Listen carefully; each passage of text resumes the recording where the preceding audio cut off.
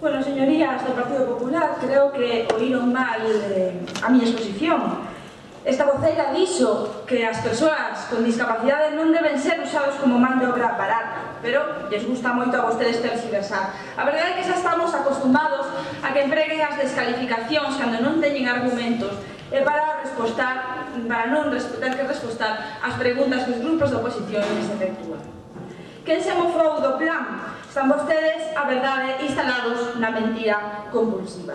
Sen embargo, nada dixeron da incumplimento do LISMI, nada eh, opinaron da necesaria inspección laboral, non contaron, eh, non nos falaron dese cumprimento da taxa do 2% para as empresas de máis de 50 traballadoras e traballadores, non nos deron ningún dato Prácticamente tampouco opinaron sobre o estrangulamento das prestacións sanitarias das persoas sin discapacidade, no que mm, eu centrei, sobre todo, o meu discurso. Falaron da orden na que se regula o decreto da prestación ortoprotésica, respondeu vostede, señora conselleira, pero non é certo que as persoas non vayan a ter que adiantar os cartos. O que fan vostedes é poñer as ortopedias na tesitura de ter que decidir si van a adiantar eles os cartos ou non coas dificultades laborais que van eh, que lles va ocasionar para as ortopedias e coas eh, diferencias que vai a, a ocasionar na prestación a distintas persoas dependendo de se se lle financia ou non esta prestación. Pareceme entender antes durante o seu discurso que falaba vostede de discapacidade de xene. Pareceme entender. Sen embargo, non nos falou aquí da brecha salarial entre mulleres e homes na discapacidade. Que diferencia de poder adquisitivo mulleres e os homens na discapacidade, que se vai a facer para melloralo, como van a corrixir as desigualdades sanitarias, as educativas, as sociais, que actividades se plantexen nese senso para 2013, de que orzamento se dispón para levar a cabo eh, este acortamento da brecha entre os dereitos de mulleres e homes tamén na discapacidade. Faláronos da lei da accesibilidade das novas tecnoloxías, mediante que?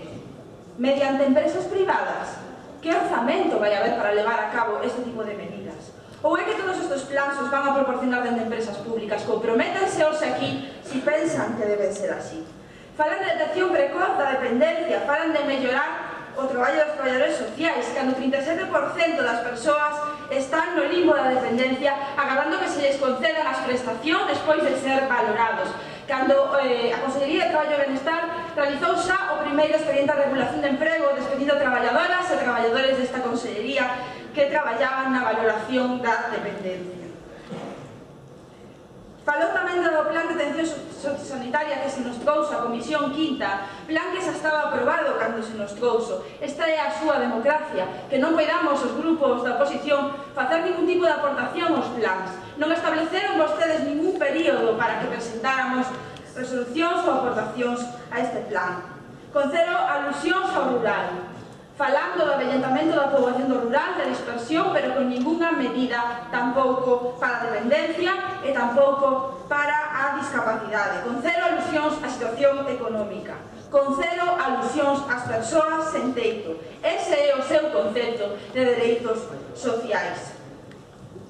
Eh, a vostede pareceránlle prazas públicas a dos centros concertados, pero non son, señora conselleira, son privadas, só que se pagan con cartos públicos. Ou estas empresas son irmaíñas da caridade, ou estas empresas non teñen ánimo de lucro, ou estas, estas empresas non se queren lucrar co benestar e coa sanidade das persoas dependentes e das persoas con discapacidades. Canto vale, señora consellera, unha praza concertada? Canto máis vale unha praza concertada que unha praza pública? Porque algún beneficio terán que sacar estas empresas. Porque, dice, por que Hai centros como o de Vilalba e o de Puntis pechados, cando eh, di vostedes que non hai cartos, serían centros públicos, pero estas prazas siguen sin abrirse.